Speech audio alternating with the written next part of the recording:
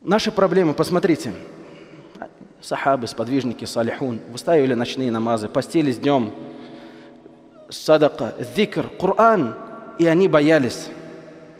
Сегодня человек, субханаллах, может быть, намаз не читает, не постится. Альхамдулилля, Аллах гафур, рахим, Аллах прощающий, милосердный. Оскорбляет другого, берет имущество другого, высокомерится над другими. Высокомерится своим положением в этой жизни. Альхамдулилля, Аллах гафур, рахим, Аллах прощающий, милосердный.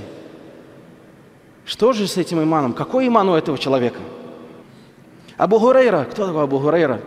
Который передавал столько хадисов нам от пророка, саллаллаху алейсалям, перед смертью плакал.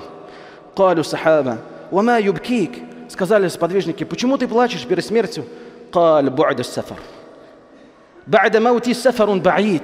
Он сказал, потому что после моей смерти будет длинный путь. Каль ва зад. Он сказал, мало у меня накоплений. Абу, Абу Хурейра. وضعف اليقين слабый иман وخوف وقوع من الصراط في النار я боюсь упасть в судный день с сирата, с моста в огонь. Такие сердца у праведных. Аллах в Коране говорит, «Алладина ю'туна ма атау, ва кулубухум ваджилатун аннахум иля раббихим раджиун». Это те, кто, давая, ощущает трепет перед Аллахом, что вернется к Нему.